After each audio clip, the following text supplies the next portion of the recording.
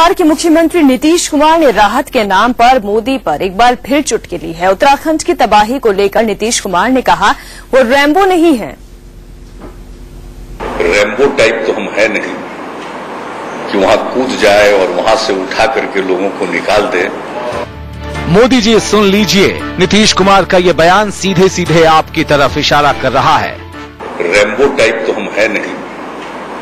कि वहाँ कूद जाए और वहाँ से उठा करके लोगों को निकाल दे। अब सुन लीजिए, नीतीश ने मोदी पर इशारों इशारों में हमला क्यों और कहाँ बोला? रविवार को बीजेपी नेता और बिहार के पूर्व मुख्यमंत्री सुशील मोदी ने उत्तराखंड त्रासदी में बिहार के लोगों की अनदेखी को लेकर नीतीश पर सवाल उठाए थे।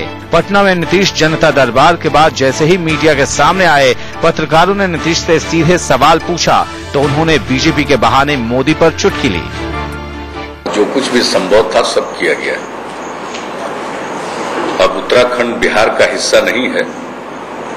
और दूसरी बात है कि हम भी कोई, वो एक पात्र है जिसकी बड़ी चर्चा होती है। रैम्बो टाइप तो हम है नहीं।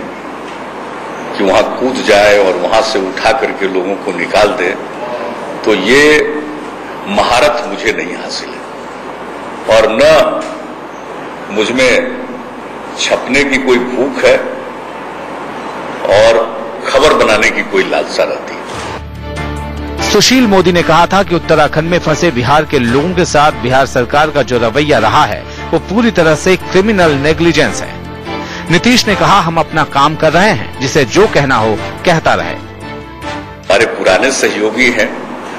वर्षों तक साथ काम करने के बाद अचानक पता नहीं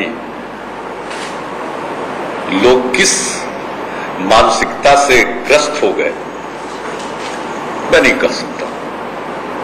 और बोले लोग जो इच्छा करे वो बोले।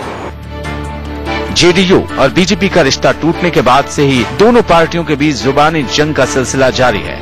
अब नीतीश ने इशारों में मोदी को लेकर जो बयान दिया है, ज़ाहिर है शब्दों के ये तीर अभी रुकने वाले नहीं। Shishir Choubey, Patna, India News.